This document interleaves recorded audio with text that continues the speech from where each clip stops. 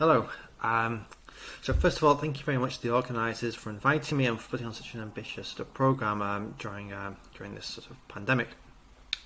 So I'm going to talk today about the number of data points one needs for semi-supervised learning, and particularly semi-supervised learning with the graph Laplacian.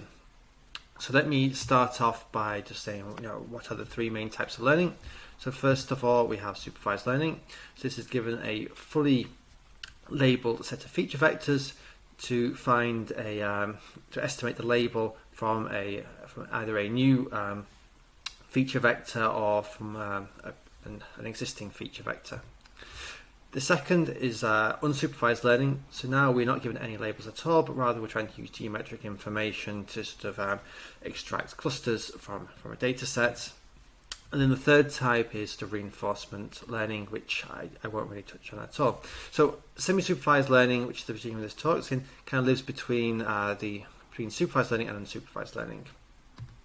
Okay, so what is it? So now we have a set of feature vectors xi from i from 1 to n, and we have a subset of labels um, yi, where i is indexed by this zn. So in supervised learning, this Zn would be the, the whole set of 1 up to n. In, in unsupervised learning, this uh, Zn would be the empty set. So in semi-supervised learning, we're sort of in between. So this is now just a, a subset, um, a non-empty subset. So what we're looking for is in what can, in some sense can be described as the best function from the set of feature vectors that agrees with our labelled data points. So of course I've got to tell you what do I mean by best. So okay, so what would be the sort of uh, supervised classical approach? Well, in the supervised approach, we, we can't deal with unlabeled data points, so essentially we would throw away the, the the um, data points we don't have labels for, and one would sort of approach this maybe as a regression problem, doing something like minimizing the L2 norm of the gradient, uh, subject to taking these, these conditions. Okay, why do we think this is not going to be, be a, sort of a, an optimal solution? Okay, so this is a very toy example sort of demonstrates where things, where we can sort of gain um, sort of insight from our labeled data points. So let's say we have two labeled data points, a red one here and a blue one here. If this is the only two uh, feature vectors that I give you, and I ask you to partition the state space, then there's really kind of, you know, just one natural um, partitioning. That's just to draw a line in the middle. Okay, and everything on this side gets is red, everything on this side is blue. Now, of course, if I give you some unlabeled data points, okay, like like this, and then okay, then I apply my my rule, we can kind of see, okay, this is not um, not, that's not optimal solution and it'd actually be much better if we move this line over okay and we partition where this the natural gap is.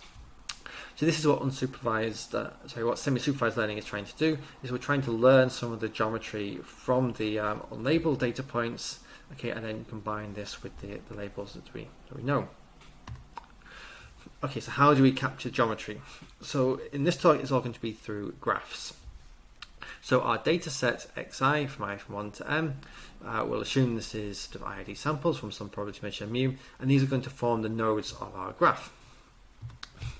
Between every two nodes, uh, we're going to place an edge, and we're going to weight this edge um, with weight wij, which is going to be some function of the distance between the two nodes. So this epsilon here plays the role of a, a length scale, and we'll, just, we'll come back to this very shortly.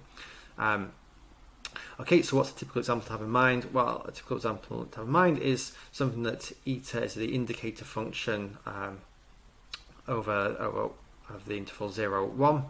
Okay, so particularly what this would mean is that if two data points here are closer than epsilon, okay, so I've, I've rescaled my eta epsilon to, to divide through by epsilon, uh, here and then renormalized it. So if two data if two data points are closer than epsilon, then I have a positive weight, um, and if two data points are further than epsilon, then I have a zero zero weight. So of course, this is just a prototypical example. I mean, one can be more sort of general and use things like Gaussian weights, um, but in general, this is the kind of the the, the choice to have in have in mind. Okay, then we, we throw away all edges with zero weight and we should be left with a much sparser, sparser graph. So something I won't really talk too much about, but it is kind of implicit in everything that I say, is that one needs a lower bound on epsilon in order for this graph to be connected. You know, we can see here, if we choose epsilon to be too small, then, well, in a trivial case, we'll have no edges at all. Um, the theory really requires there to be um, the graph to be connected. Okay, and so this uh, this is approximately the lower bound which we're going to need on, on epsilon, is that epsilon should be greater than the connectivity radius, and the connectivity radius is scaling something like log n over n to the dth power. okay, so how does the choice of epsilon um, affect affect the solution? So let's consider this this sort of toy example where we have this these sort of two spirals. So I've labelled one point here yellow and one point here dark blue, and every other point is unlabelled. Now if I choose my epsilon to be quite large, so now you can see we have quite a lot of um, edges between these two spirals. Now I've applied some off-the-shelf um, uh, sort of classification tool and what I see is that my sort of best uh, best uh, sort of cut is is the one that looks like this. So of course this isn't desirable, so we've, we've not managed to pick up the um, there are two spirals um, in our data. On the other hand, when epsilon is much smaller, now you can see there's, there's very few edges between these two um, these two spirals. Now we can we can pick up much better the sort of um, geometry. So in some sense, a smaller epsilon allows us to be allows us to finer resolution of uh, of the data, allows us to kind of be, identify more easily that there are these sort of uh, well, in this case, these there are the two two spirals. Okay, so we've already kind of sort of uh, sort of uh, stated the sort of the supervised classical approach and kind of said, okay, this isn't really isn't the right sort of problem to look at when we have unlabeled data points. So the, the problem which will concern us in this talk is the method that was proposed by Zhu, Ghahramani, and Lafferty, and then uh, generalized by Zhu and Schölkopf um, to general P. And this is to minimize this energy here. Okay, so this is uh, so this energy here is essentially a W1P semi-norm, but now set on a graph. So what we do is we take, we have our function fn here, and then we look at pairwise distances to the pth power, and then weight by the by the graph uh, weight. Okay, then sum over all all edges, and then here just a normalization, which will will come into um, which will well will be important later. Okay, so the variational problem then is to consider what happens when we minimize this, uh, this energy here over all functions that satisfy the constraints. So the objective of this talk is to look at what happens when n goes off to infinity. And in particular, we care about, um, about um, what happens to the labels. So the first part of the talk is all going to be about when can we expect that this um, is a well-posed uh, limit when our, the size of our training data set is finite. The second part of the talk is going to be if we if we allow our sort of data set well in the case where this is this problem is is ill posed for finite number of uh, data points can we can we still get a well posed limit if we let the size of this zn here go off to infinity okay so first of all, let's just uh, formally um, come up with what we expect the, uh, the large data limits to look like. So let's assume that xi are IID from some probability measure mu, and mu has density rho.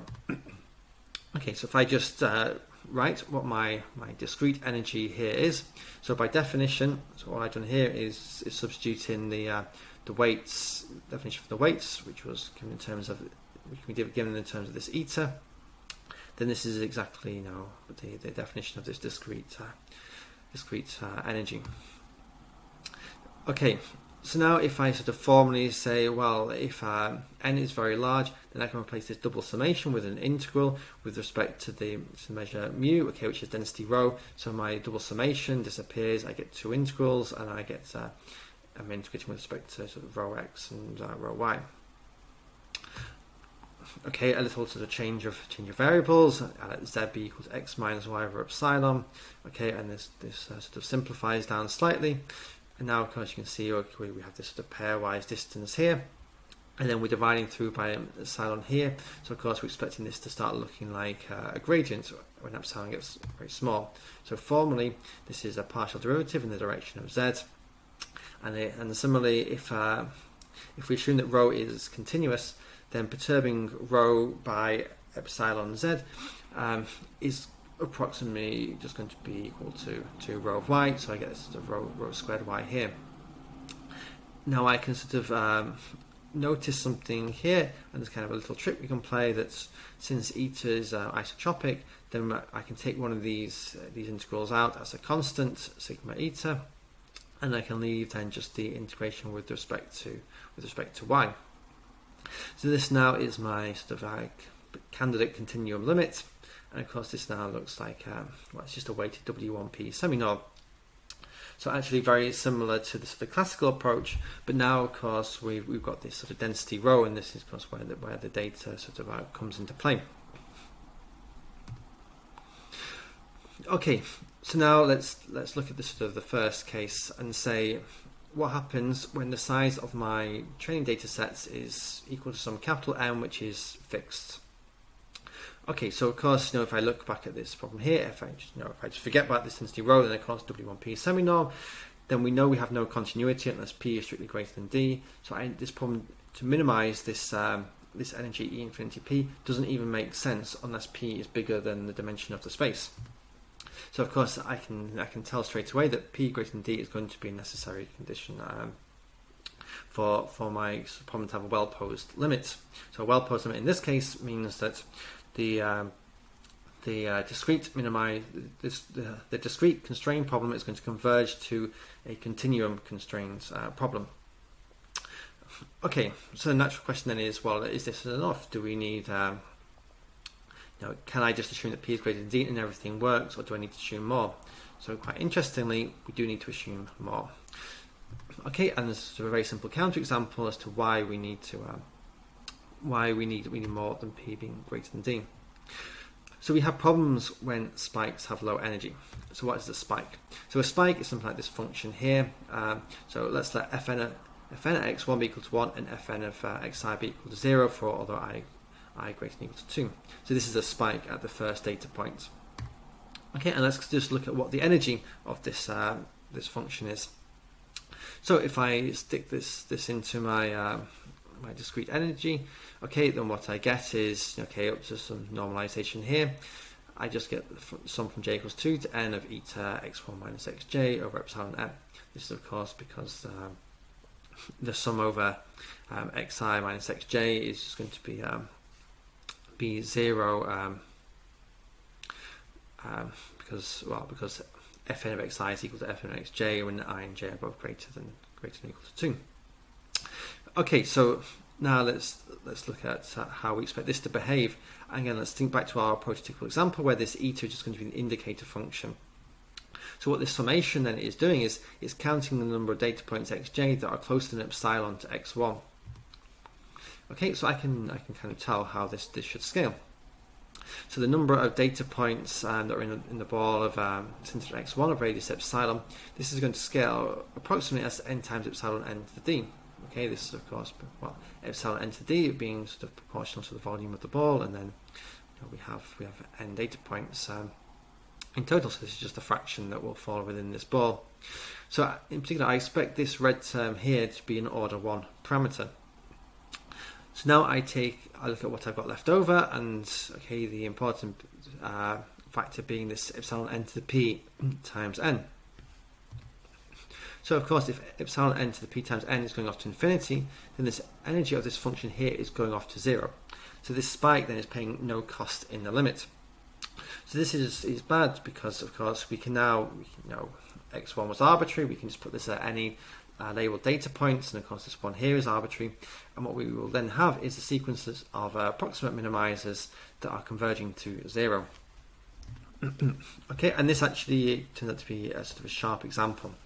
So in particular, if epsilon n to the p times n is going off to infinity, it will turn out that this problem is is, is ill-posed, as this sort of example demonstrates. And if epsilon n to the p times n is going to zero, this actually will imply the problem is, is well posed in the sense that constraints pass through to the limit. Okay, so we'll, we'll kind of come back to this later. Um, but first of all, we need to be to be a bit more rigorous. We need, need to kind of introduce a topology.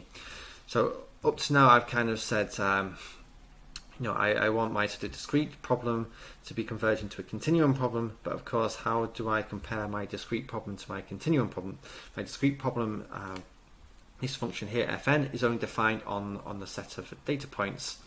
Whereas if I go back to my um, sort of candidate um, function uh, um, energy for the continuum problem, this this f here now is defined on a on, on the whole domain, or at least a, continuum domain. Okay, so in order to kind of say, well, what does it mean for fn to converge to f? Then of course I need I need a topology in which I can compare both fn and f. So there's kind of two choices here. So first thing we, we could think about doing is we could compare fn with f restricted to the to the discrete sets. But this has the disadvantage that we need f to be continuous. So of course if we want to do this in W1P, well we would need P being bigger than D, otherwise we don't have continuity. Um, um, so okay, so this this kind of would only work in sort of special cases anyway, and of course um, this isn't going to be a metric space. I mean, it's it's not symmetric, um, for example. Um, but it is conceptually simple. I mean, to compare fn with the restriction of f is, you know, it's, it's not difficult to understand what this what this means. Hmm.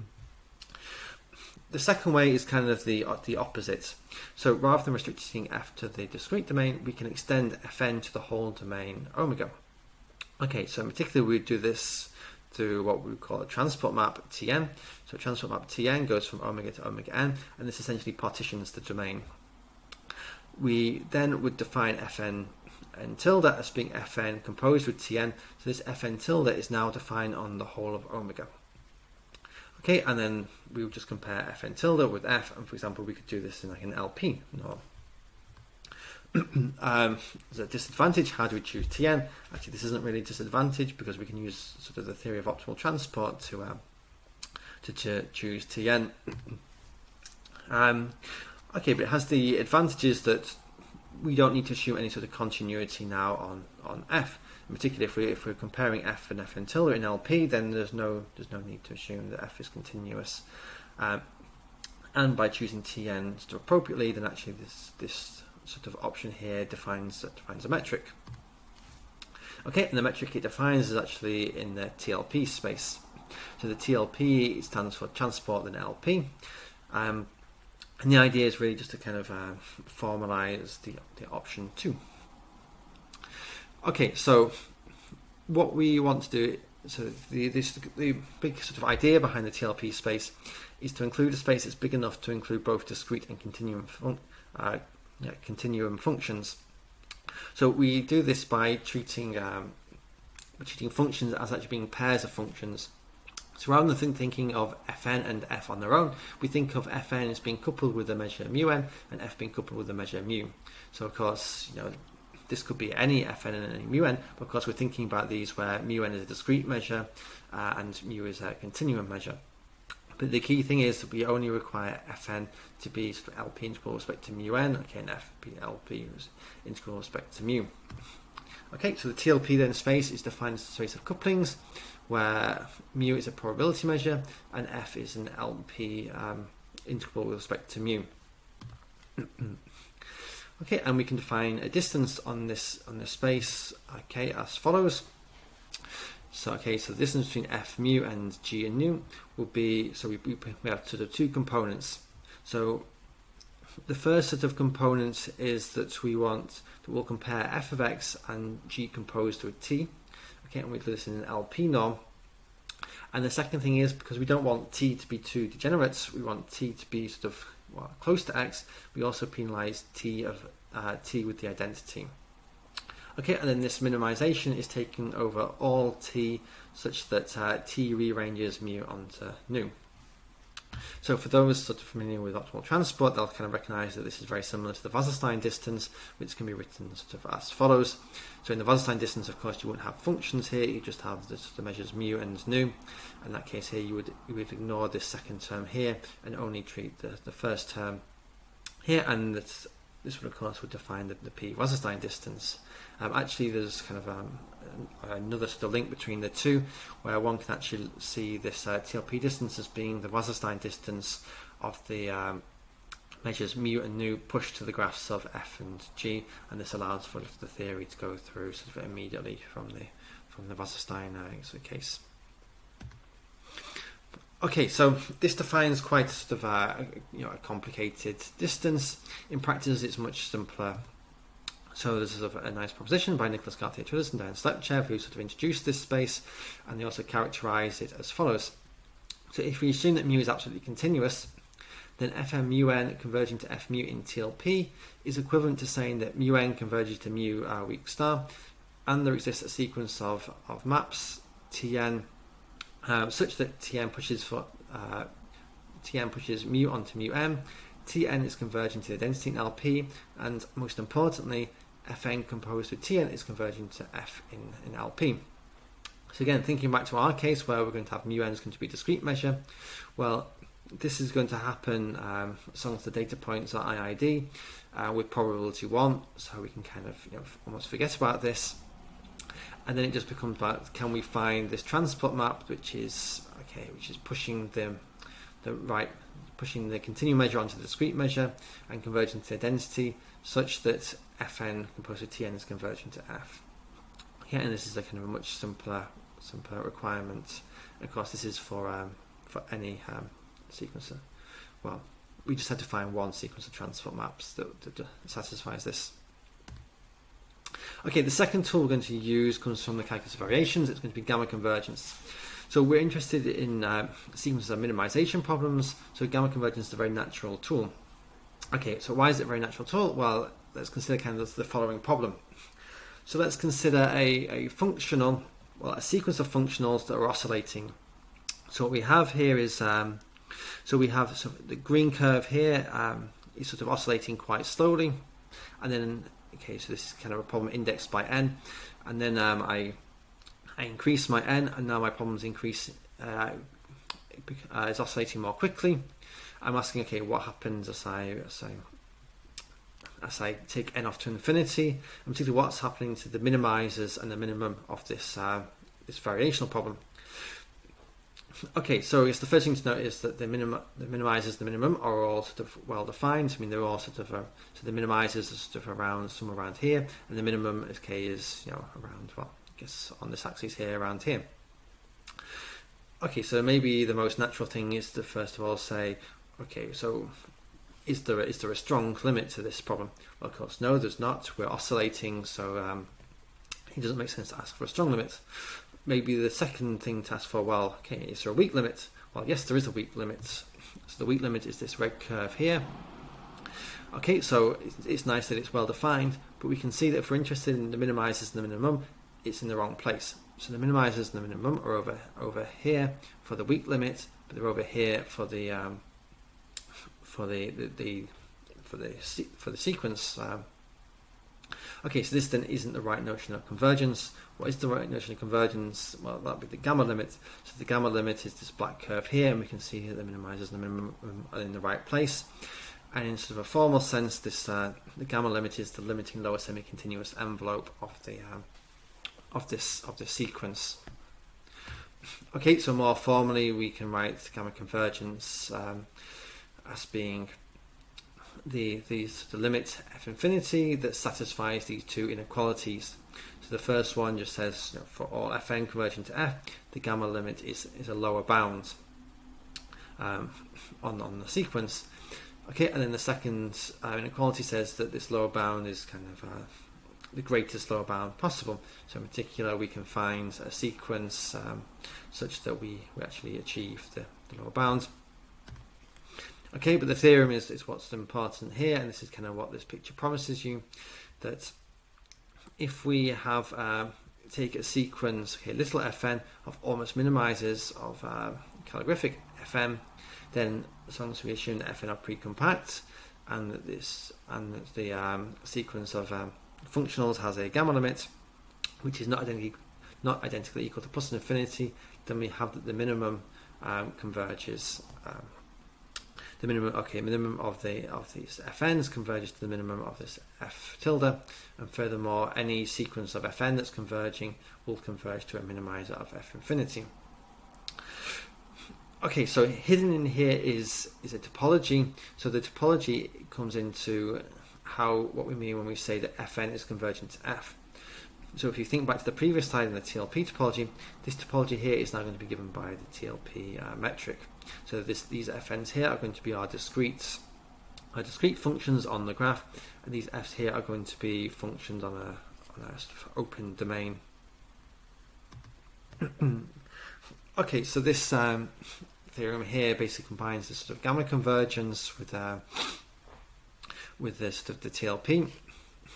So we let fn be sequence of minimizers of our this was our sort of um, Sobolev W1P um, semi-norm on the graph, and we assume it has n constraints. And we, we also assume that epsilon n satisfies this lower bound, which is essentially just gives us connectivity of the graph. Then with probability 1, fn is converging in TLP along subsequences to some f in W1P. Okay, so we, we have convergence. So we know that our kind of our problem is is going to converge to something. The question now is is what are we going to converge to? So we have two regimes. So the first one is the well posed regime. So this is if epsilon n is satisfying this uh, this upper bound, then we have that the whole sequence fn is actually converging to f locally uniformly. So this is a much stronger type of convergence than uh, just converging in TLP. Okay, and moreover, f is going to be a minimizer of uh, this this um, continuum um, energy infinity p subject to the constraints. So this is why we call this the well-posed regime because we got we have constrained minimizers converging to constrained minimizers. The second uh, case, of course, is the ill-posed regime. This now says that if epsilon n is scaling much bigger than n to, n to the power of minus 1 over p, then f is going to be a constant. So, of course, if f is a constant, then we're not respecting the constraints. So, another way of saying this is that um, these fn's are converging to uh, a minimizer of e infinity p without constraints because of course any constant function is a minimizer of, of e infinity p which is just a w1p semi-norm. Okay, there are sort of several other results in this sort of uh, sort of area, um, so I kind of include some references uh, here. Okay, so let me kind of give you some sort of numerical results to kind of so you can see what's sort of going on. So I use, uh, so this is now a, a two-dimensional problem. So I need to get to well-posed result. I need to choose p being bigger than 2. So I just choose p being equal to 4. Okay, now this problem here has, I look at two constraints.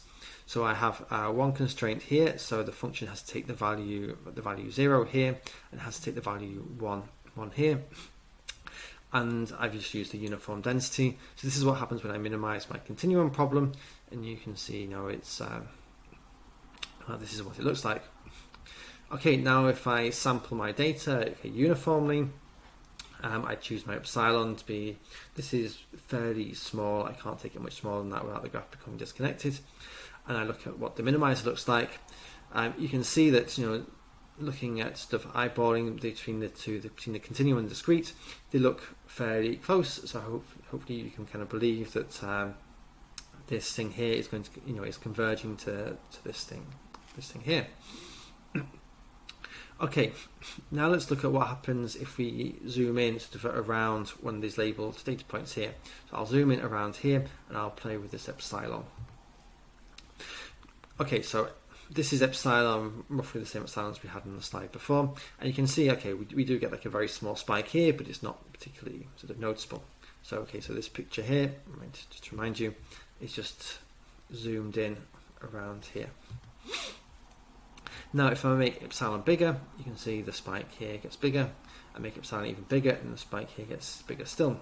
So what you can see is that as epsilon gets bigger, this um, we're kind of becoming more degenerate. Okay, and this kind of supports the, the, the theorem a couple of slides ago, which says that um, says that there has to be an upper bound on epsilon.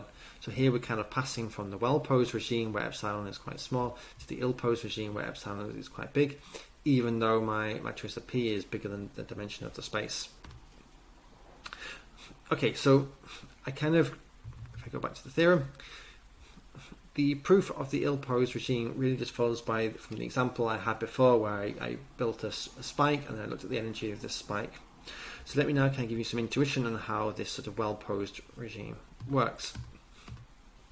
And the key sort of uh, step is to notice that the discrete energy is not behaving like the continuum energy, but it's behaving like the continuum energy after modification. Okay, so in particular, let me define my sort of Fn tilde to be, okay, so Fn composed of Tn, okay, where Tn is sort of you know, optimal or close to optimum. This Fn tilde is now a continuum uh, function. Okay, and then there exists some some modifier j, which can kind of be built from the um, from the from the, the graph uh, kernel eta. okay, so then, then the the step is is claiming that if I modify my fn tilde with this with this j on, on the scale of epsilon m, then this is approximately equal to the discrete energy. So the, the, key, the key observation here is that this discrete energy here isn't controlling the continuum energy of Fn tilde, it's controlling the continuum energy of Fn tilde after it's been modified on the scale of epsilon. Okay, our second step then is to so this, okay, so this first step here kind of gives control of Fn tilde over the length scales greater than epsilon. So our second step then is to control the um, control the regularity of this Fn tilde over scales sort of on, on the level of epsilon. So we can do this um, kind of with the following sort of calculation. So we define an oscillation of Fn on the scale of epsilon at the point xk just to be the maximum of this function in the ball of at xk of radius epsilon minus the minimum of the function on the ball of xk um, of radius epsilon. So this is just the maximum minus the minimum the, fu the function can take over over uh, some ball. It's a little bit of algebra, but then one can kind of show that this is can, can be bounded above by some constant times n times epsilon n to the p times the the discrete energy to the pth root. Okay, so this, of course, now if we're thinking that Fn is going to be a minimizer, an approximate minimizer, then we know that this this En uh, Pfn is going to be bounded. So what happens to this sort of oscillations is really is completely determined by what happens to n times epsilon n to the p. okay, so in the regime where n times epsilon n to the p is going off to zero, which is exactly what we needed to, to assume for the um, for the well posed regime, then we know that the oscillations also have to be going to zero. So we can combine then the these first two steps um, which will give us control over length scales greater than epsilon and control at length scales at epsilon to get sort of um, a uniform convergence over the whole um, over, over, all scales. So in particular, it's kind of Sobolev embedding of this sort of um, modified function. Okay, then then we sort of argue with the with the control of oscillations, we can get we can get sort of uniform convergence, which is kind of what you would expect um, from the, from the Sobolev embeddings. okay, so this now gives us a very strong notion of, of uh, convergence, and actually this then is enough to kind of pass uh, pass constraints through to the limit. So, in case in particular, we can show that the that uh, these discrete energies gamma converge to the continuum energies, plus we have a compactness result. Okay, which then will imply uh, convergence of minimizers and convergence of minimum, and the sort of gamma convergence and the um, compactness. These really follow from the uh, result by um, Nicholas García Trillos and Dejan Slepčev, who they actually did this with uh, in case p equals one, but it's no difference to this with uh, with any p. okay, so what do people do in practice? So in practice, I would say the most uh, popular choice is p equals two. So of course this can be solved explicitly. You know, it's nice and quadratic. Um, but our results say that this is going to be ill-posed if you have finitely many constraints, uh, unless you're in one dimension, which of course you're not normally going to be in one dimension. So then the question is, well, how can we kind of uh, get a, a well-posed result when p equals 2? So I mean, there's, there's several sort of different methods here. So the first approach, so this was um, is, is, to increase the weight around labels. So essentially, you're, you're trying to enforce more regularity at the label points and there's been a, a, few papers on this now. So Shi, Osher, and Zhu, and Shi, Wang, and Osher, uh, the, the, UCLA crowd, they've uh, they were the first ones to propose this, and they've written a couple of papers about this. And uh, Jeff Calder and Dejan Slepčev, they've also looked um, looked into this method as well. Okay, the second possible approach is to kind of uh, fix the ill-posedness in the equation. Okay, and actually, when one does this, you kind of uncover there's a certain bias, and this actually is quite a uh, well. I think it's a nice approach because I was one of the authors, um, but this actually leads to um, an equation called Poisson learning. Um, so, something that I haven't really mentioned so far is that the the solution minimizing these um, Sobolev um, W1P semi-norms, one gets the Laplacian equation. Once you kind of uh, fix the ill-posedness, you actually end up with something that looks like a, a Poisson um, equation. So, okay, so these are two sort of possible ways of uh, approaching the, this problem. I won't talk about either of these um, in the remainder of the talk. Instead, I'm going to talk about um, a third approach, and that is to take the number of labels off to infinity.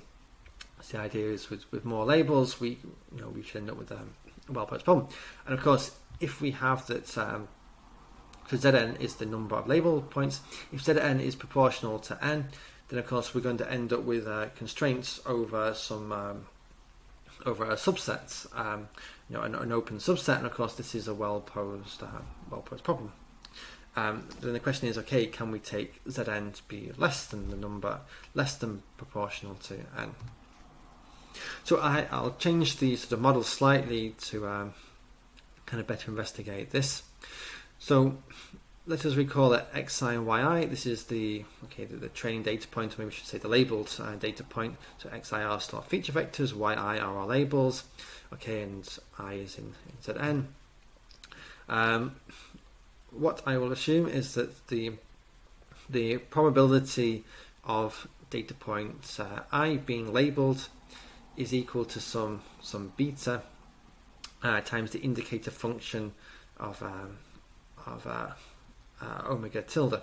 So we think of this as being so omega tilde is some um, open and bounded subset of, of omega. If a data point falls inside that um, inside omega tilde, then we have a probability beta that it's going to be labelled. So if our our training, uh, if our our feature vector falls outside omega tilde, it's not labelled. If it falls inside omega tilde, it is labelled, but with, it could be labelled with probability beta, and it could not be labelled with probability 1 minus beta. Okay, and I include an n here because I'm particularly interested in saying, okay, how small can we can we take this this beta?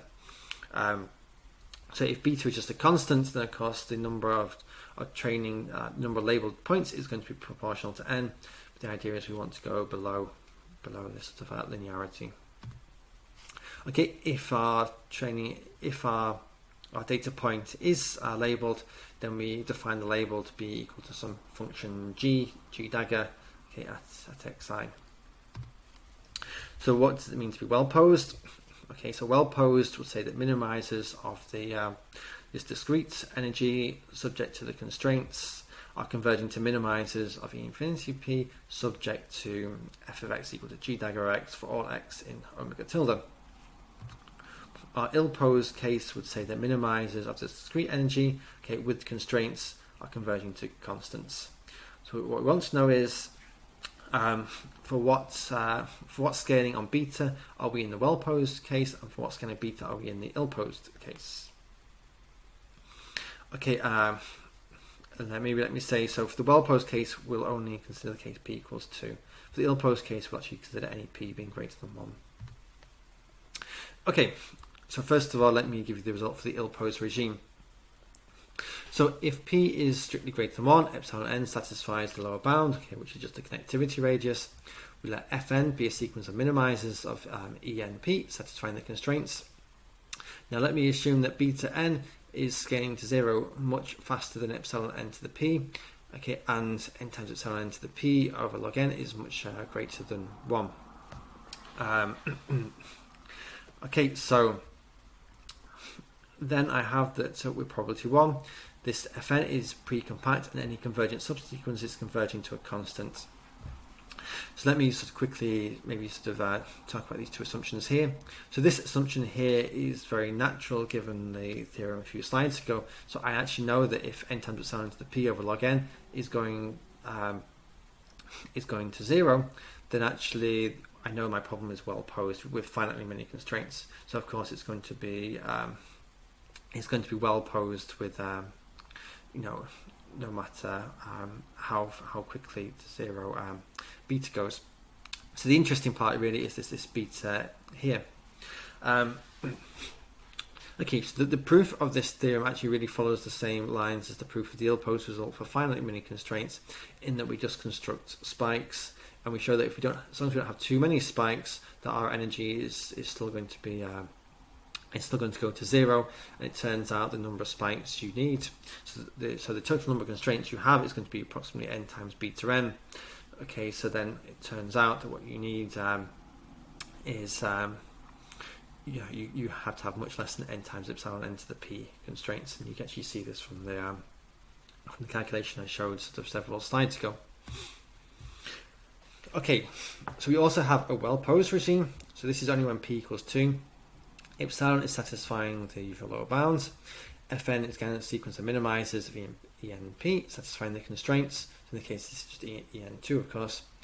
Um, now we let f be the minimizer of e infinity p with constraints. We'll assume the opposite um, sort of uh, inequality here. So here we have beta n has to be much smaller than epsilon n to the p. Now we have beta n is much greater than epsilon n to the p. So this is now a lower bound on, on the number of uh, constraints we have. Okay, and then actually we need um, a slightly stronger uh, uh lower bounds. Um, okay, which uh, here, which this is okay just for kind of um, for technical technical reasons. Okay, but under these assumptions then we have almost surely that Fn is converging to F uh, uniformly, um, okay, which means that if I take my F, I restrict it to the to the set of data points, and then I compare this with my Fn, this is converging to zero. Okay, so this this now means that um, you know my my Fn is converging to okay. So let me put it like this: that minimizes of EMP EMP with constraints are converging to minimizers of E infinity P with constraints. So this will be the well-posed, um, this is what I call this, the well-posed regime. So in the rest of the talk, I'm going to kind of give you some intuition on how this proof here works. So the first thing I want to say before I get into the proof is, um, is introduce these to introduce the graph Laplacian and the continuum Laplacian. So I've already mentioned the Laplacian I think several times in this talk and I actually haven't said what it is so far. So now's a good time to do so. So the graph Laplacian um, we define, so in the, if you look in the literature, the, the normalization isn't very important, um, but the, the the, the key step is that we're taking um, the graph Laplacian of this Fn is looking at pairwise distances. Um, okay, so we're evaluating the point xi, and then we're summing over the point xj, and then we weight by the, the weights wij. Okay, why is this? Uh, why do we care?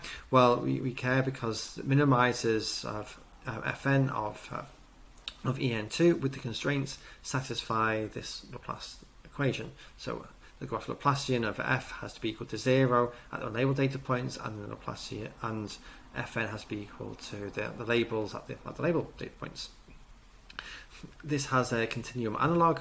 So the continuum analog is the um, okay. We have the weighted Laplacian where there's density rho. So of course, if rho is one, then this is the, the regular Laplacian. Okay, and this is just the, so the weighted Laplacian is just defined as one over rho times the divergence of rho squared uh, grad f.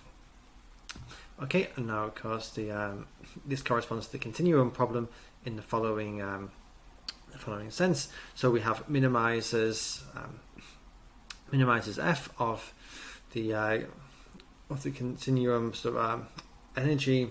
Okay, with constraints, they will satisfy. So the Laplacian of f has to be equal to zero um, away from omega tilde. f has to be equal to g dagger on omega tilde, and we have a a Neumann uh, boundary condition on the, okay, on, on the boundary of omega. Okay, so we will sort of um, use this um, uh, this sort of um, way of writing down sort of the, the minimizers, and particularly we sort of use the fact that the discrete and the continuum minimizers solve um, solve uh, those these these Laplacian type equations when we're trying to prove this uh, this theorem this theorem here. Okay, and the reason why it only works for p equals 2 is because we make explicit use of the random walk interpretation of minimizers, which only holds for p being equal to 2. So, let me let uh, gn be the graph with edge weights uh, w. I'll let xt of uh, little x, this is going to be my random walk on omega n. So I will start this random walk from some some arbitrary point x in omega n, which I which I will choose, and then I transition from point uh, say xl to xk with a probability proportional to the weight of the edge between the um, between the node xl and xk.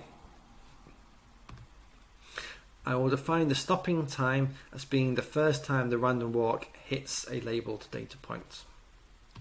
Okay, and what one can show, and this is a very quick and easy calculation, is that if I define uh, my function fn to be the expected label of the uh, when this random walk stops. Okay, so I start my random walk at x. I stop this random walk as soon as it hits a label data point, and then I look at the label, which would be g dagger. Then, okay, the function defined in this way is actually a minimizer of um, of my um, my energy when p equals 2, subject to the constraints. Okay, so this then is the characterization which we'll use to, to prove the um, theorem. And since now the intuition is actually fairly straightforward in that all we're going to want to do is we want to show that this stopping time here is not going to be too too big and we want to kind of show that this um, as long as um, we've not taken too many to steps to stop that the random walk can't have gone too far. Okay, so step one is to show that um, this uh, this random walk behaves um, okay approximately as a random walk would on a continuum domain. Okay, so in particular, one can actually show that if we start at x, then with you know high probability, I'm not going to take um, more, I'm not going to travel further than square root of k times epsilon um, in in k steps. Okay, so epsilon is you know approximately the size of a step, so if I take k steps, then I expect to move the distance no more than square root of k times epsilon, and this is with some probability. So I put an alpha here so that I can put in, uh, I can make this sort of arbitrarily small. okay, my step two is that I just look at what happens within the label domain. So if I start off in the interior of the label domain, then I have a probability, the beta of stopping it at each time step because I know that sort of, you know approximately sort of um, you know the proportion of la- of data points that are labeled within the domain omega tilde um, is, is equal to beta. Okay, so the probability of um, stopping in, in one step is going to be beta. The probability of so the probability of not stopping is going to be sort of one minus beta. Okay, so then I can kind of you know do this argument by induction and say okay the probability that I'm going to take more than k steps to uh, k steps to, to stop is going to be less than 1 minus some, some constant times beta to the power of k, okay, which I can kind of bound again by e to the minus ck beta. And this argument now holds for any x in, in domain omega tilde, but not outside, of course, because outside I have no, no label data points. Okay, so then I can combine these the previous two steps and I can say, you know, for any for any x which is within the sort of uh, label domain, that if I look at the distance between fn of x and g dagger of x, okay, so first of all, I just use my, my, expression for fn of x in terms of the expected value of the stopping time, then I can bound it by the expected value of uh, g dagger of the random walk minus g dagger, okay, at where, wherever we start. Okay, so now I condition on the event that the stopping time is less than or equal to k. Okay, so then I, I get two terms here. Okay, so now if I look at my sort of step one and my step two, so first of all, this blue term here, the probability that um, s of x is greater than k, well, I know this is going to be quite small here, and okay, I kind of have no control over over this thing here because this um, x of s of x at x um, could be very far away from x, but still, if I assume my g dagger is infinity, then I can I can put um, sort of an order one bound here, and then here I'm going to have my bound um, e to the minus ck beta.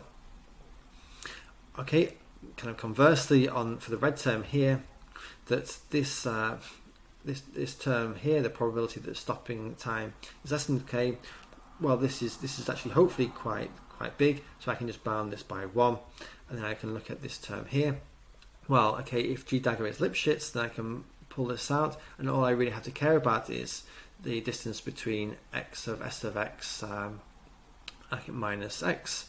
Okay, and if my stopping time is equal to k, well again I can I can bound this by the um, by x of uh, k at x minus uh, k g dagger of x. I can take advantage of this bound here to say okay I expect this thing, this to be less than alpha times square root of k times epsilon. Okay, so what I have is bound here, and this is true for any k at this point here. But now what I can do is I can choose my k optimally, okay, and you can either do this calculation yourself or you can just believe me that k should effectively be 1 over beta, okay, times some sort of logarithmic terms. Okay, and this then gives you a high probability bound that uh, f of x minus g dagger of x is less than or equal to some constant times epsilon over square root beta, the logarithmic terms. So this actually gives us more than what I said in the theorem. This actually gives us a rate of convergence um, as well. At least at this point, this is only on the domain um, omega tilde. Now we have to extend this result to the to the whole domain omega. Um, okay, so to do this, we're going to have to look at um, at uh, pointwise convergence of the graph Laplacian. So this results um, here is a slight generalization of results that appear so previously in the literature. Um, okay, so in particular, what we have is so this um, this ln epsilon is going to be the, the graph Laplacian, and this this L is uh, going to be a continuum Laplacian. And what we have is that the graph Laplacian is approximately equal to the continuum Laplacian plus boundary conditions, okay, up to some error, which is um, bounded by you know epsilon plus var theta, where var theta is is anything I want it to be between epsilon and 1 over epsilon, and kind of use controls that's the probability. So the difference between this result and previous results is that we have uh, we have boundary conditions. Okay. Now let me look at um, look at uh, uh, at a function f, okay, which which solves the Laplacian of f is equal to zero, okay, and f, okay, on the an omega but not an omega tilde, let f be equal to g dagger in omega tilde, and then let's assume this uh, this uh, Neumann uh, boundary condition. Okay, and let's also let phi solve a similar problem, but now we say the Laplacian of uh, phi is equal to 1, okay, um, outside of omega tilde, phi to be equal to 0 in omega tilde, and we'll have a, a uh, Neumann boundary condition, but now okay, but with a 1 here, not a, not a 0. Okay, and I'll choose v to be equal to f plus some constant m, which I'll choose shortly, times var theta um, phi. Um, this will be on uh, outside of omega tilde, and I'll choose to be g dagger on omega tilde. So this v is going to be a barrier function um, okay, by choosing m large enough, I have the following. Um, I can say that. okay, so if I just apply my graph Laplacian to v, okay, so everything's nice and then I'm just applying my graph Laplacian to f and my graph Laplacian to phi times this sort of um, m times var, var theta. And now, of course, I can take uh, advantage of uh, the pointwise convergence results, and I can sub- exchange the um, the, uh, the, the graph uh, Laplacian for the continuum Laplacian.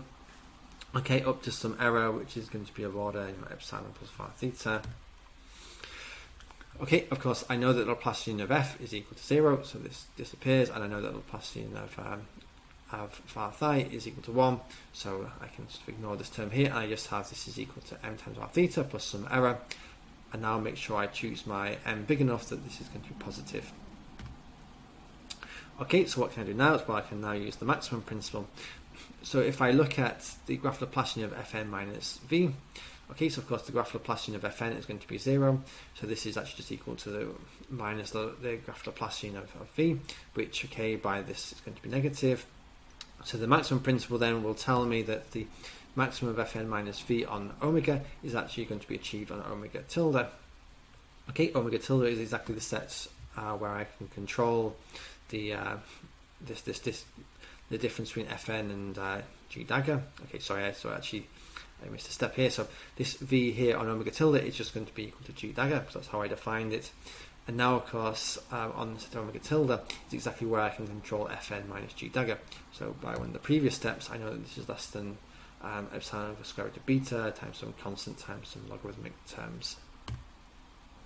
Um, I can do exactly the same argument for um, v minus fn rather than fn minus v, and I'd end up with an L infinity norm, okay, which um, again it's, just the same as the um, the bound um, bound here.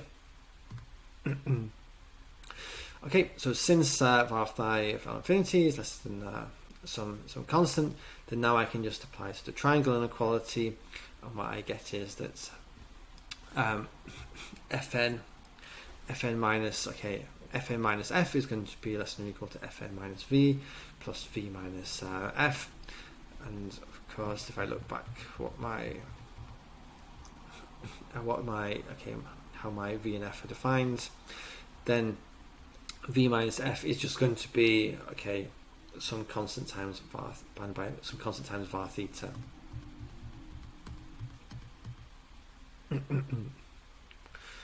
okay, and I think somewhere I think I must have chosen var theta to be epsilon over square root of beta. Sorry.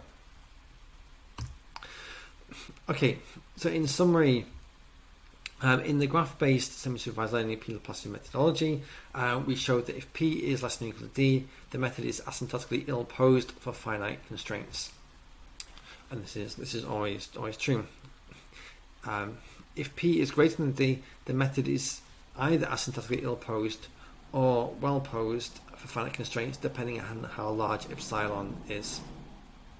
Okay, and then we further can consider the model when um, when P equals two, and we showed that um, for the model to be asymptotically well-posed, one needs a uh, needs a lower bound uh, on the number of labels. Okay, and this lower bound really just comes directly from, from here. So one just needs that um, beta is uh, is much greater than epsilon, epsilon squared. Okay, so with that, I will conclude my talk. There's sort of several references. So a lot of these references are from sort of um, other people that have worked on this problem. Uh, my sort of results are sort of are highlighted um, in bold. So the first result was was me and Dejan Slepčev. Okay, and this is in this pa- in the um, SIAM Journal Mathematical Analysis paper. And the second result um, was me, Dejan, and, and, Jeff Calder. And this is a paper that you can find on, on arXiv. So with that, uh, thank you very much.